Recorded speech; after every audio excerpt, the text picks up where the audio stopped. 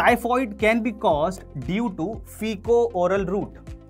Now, let's read, read the second statement. The second statement says that tobacco has been used by human because inflammation is caused in lymphatic vessels, not in the blood vessel. That cytotoxic T cell is responsible for graft rejection. Hello students, welcome to ALLEN Overseas. In this series, we are going to discuss 90 most important questions which can come in NEET 2023. Here we have divided these questions into three different parts. Let's talk about each part. For physics, we have taken 30 questions. For chemistry, again we have taken 30 questions. And for biology, again we have taken 30 questions. For physics and chemistry, we have divided these questions into two parts each. As you can see, in part 1, you will find 15 questions. In part 2, you will find 15 questions. Now, let's talk about biology. For biology, we have divided these 30 questions into three different parts. Part 1, Part 2, Part 3. And each part contains 10 questions. Here I am going to take 10 questions from Part 3. All these parts are in the form of single single videos. And these videos you can check out in the playlist. Link of the playlist you can find out in the description. Now let's take the part 3 of biology. Let's start with question number 21. Now please see the question. Mark the incorrect statement. Now, first we are going to read these statements. The first statement is Smoking also paves the way to hard drugs. This is the direct line from NCERT. This means that suppose a person starts smoking. Slowly and slowly, he indulges himself in taking drugs. So this statement is correct. Now, let's read the second statement. The second statement says that tobacco has been used by human beings for more than 400 years. Again, this is the direct line from NCERT. So this statement is again correct.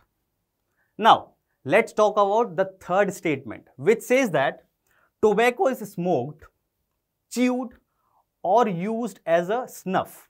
Now, let's break this statement. Tobacco is smoked in the form of cigarette. It is going to be chewed in the form of gutka or pan masala and it is going to be snuffed. How? Actually, talking about the tobacco, first we will take tobacco, we crush it, we make a powder of it and then we are going to inhale it. This is known as snuff of tobacco. So this statement is again correct. Now the fourth statement, let's see. Nicotine stimulates thyroid gland to release adrenaline and noradrenaline. Actually, this statement is incorrect. Why? Because nicotine stimulates adrenal gland.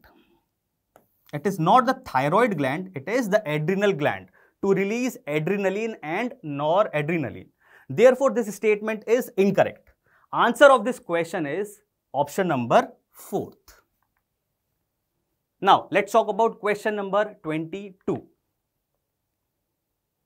This question is, select the incorrect statement regarding innate immunity. Again, the question from Human Health and Disease. Let's read all these four statements. The first statement is, it contains cytokine barrier which protects non-infected cells from further infection. Now, if you remember this topic, here we are talking about innate immunity. In innate immunity, we have discussed about cytokine barrier, in which we have taken the example of interferon. This interferon is basically released from virus infected cells, which is going to protect the normal surrounding cells from further infection. Therefore, statement 1 is correct. Now, let's talk about the second statement. The second statement says, it is non-specific type of defense that is gained after birth. So, let's segregate this statement innate immunity is non-specific type of defense. This particular line is correct. Now, the second part is that is gained after birth. No, this is incorrect because it is gained by birth. That's why this statement is incorrect. Now, let's focus on the third statement, which says that certain types of leukocytes, WBCs, like PMNL, for example, neutrophils, also form innate immunity. Again, this statement is correct. Why I am saying this? Because it is the part of cellular barrier. So, again, this is correct. Fourth statement. Skin is the barrier of innate immunity which prevents pathogen to enter in the body. Again, this statement is correct. Why I am saying this? Because please recall, in the case of innate, innate immunity, we have taken the physical barrier in which we have studied about skin as well as the mucous membrane. That's why the fourth statement is again correct. So here we need to identify the incorrect statement. The second one is incorrect statement and this becomes the answer of the question number 22. Now let's talk about question number 23. The question says, select the incorrect statement against malaria. Now again the question is from human health and disease. Please see. The first statement is sexual stage of plasmodium develops in human. This statement is absolutely correct. Just recall, after entering of sporozoite inside human body, asexual reproduction takes place in liver cells as well as in the RBC.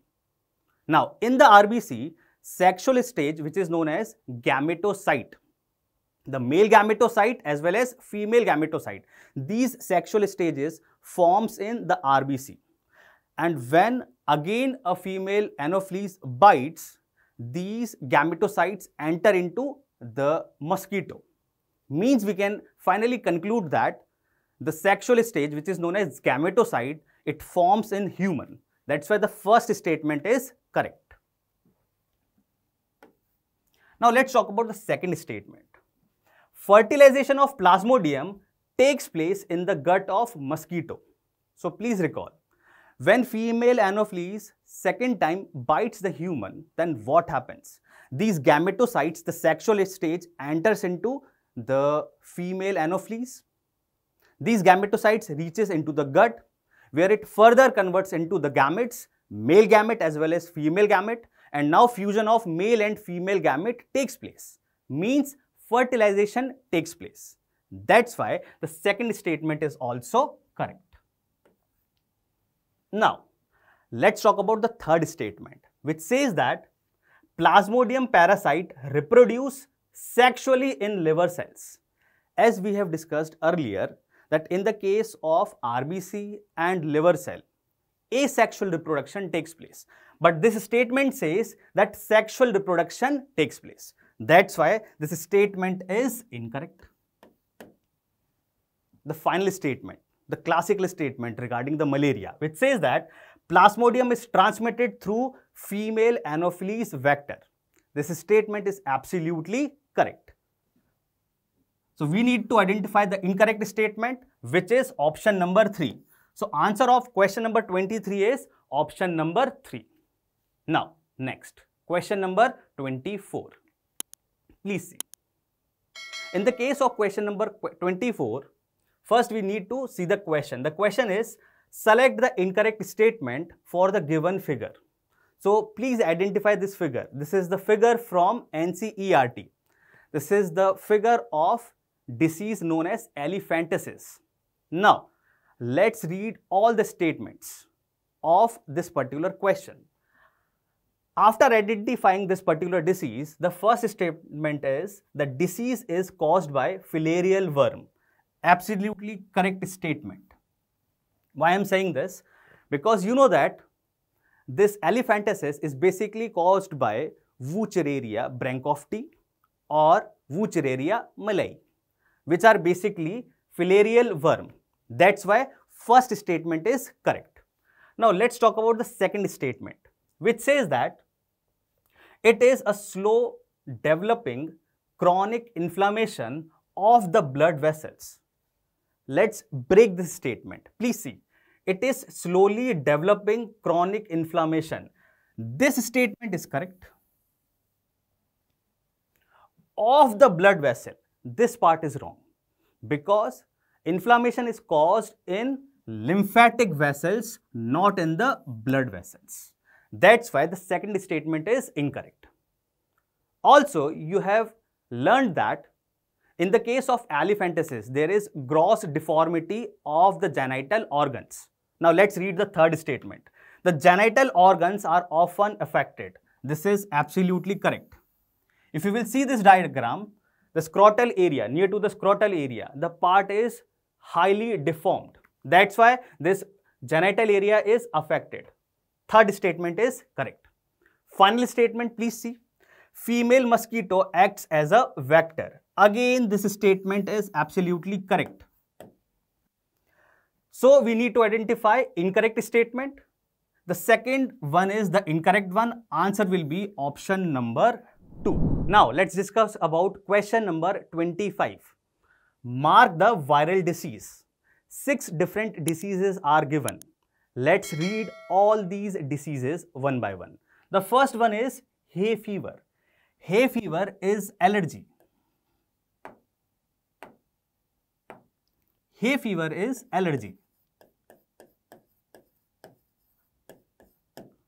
Now, chickenpox is a viral disease. So, here I am writing V, viral disease. Now, let's talk about diphtheria. Diphtheria is basically bacterial disease. Now, next one, rabies. Rabies is basically viral disease. Common cold. Basically, common cold is again a viral disease. And finally, tetanus. Tetanus is a bacterial disease.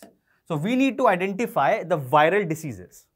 So, here we are going to take B, D and E. B, D and E. Option number 1 is the correct answer of this question. Now next. Next one is question number 26. First, we are going to read this question. The question says, a patient consumed contaminated food few days before. First, we will see the options. Typhoid, pneumonia, diphtheria and tuberculosis. Talking about pneumonia, diphtheria and tuberculosis, all of these three diseases basically comes from droplet infection.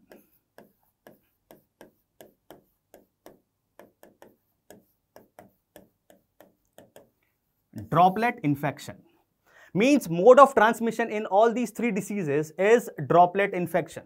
But talking about typhoid, typhoid can be caused due to fecal-oral route. Now, let's read remaining part of this question. Now he is suffering from sustained high fever, stomach pain, weakness, headache and loss of appetite. What can be the probable disease?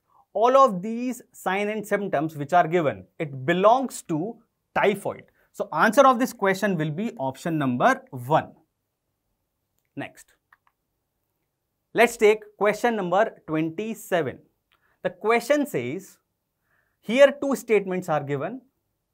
The first statement is T lymphocyte mediates cell mediated immunity. Now let's talk about immunity first. If you have the idea of immunity, you know that we have divided immunity, the acquired immunity into two parts. One is cell mediated immunity and second one is antibody mediated immunity. Cell mediated immunity is caused due to T lymphocyte while if we talk about the antibody mediated immunity, it is caused by B lymphocyte. Now, in the case of T lymphocyte, we have also seen one more statement in NCERT that cytotoxic T cell is responsible for graft rejection. Means cell mediated immune response is responsible for graft rejection. After understanding this part of theory, let's again come to the question. First statement says T lymphocyte mediates cell mediated immunity.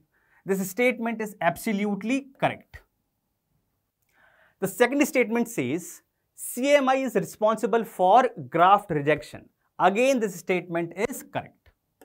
So, statement 1 and statement 2, both of these statements are correct. Therefore, correct answer of this particular question is option number 1. Now, next question. Question number 28. Please see. Question says that which of the following is correct statement? Now, in this question, we need to identify the correct statement. The first statement says, branching descent and natural selections are two key concepts of Lamarck's theory of evolution. No, branching descent and natural selection do not belongs to Lamarck's theory of evolution. It belongs to Darwinian theory of evolution. That's why the first statement is incorrect. Let's see the second statement. Darwin finches represents one of the best example of adaptive radiation. Absolutely correct statement directly from NCERT. Next statement, Darwinian variations are random and directionless.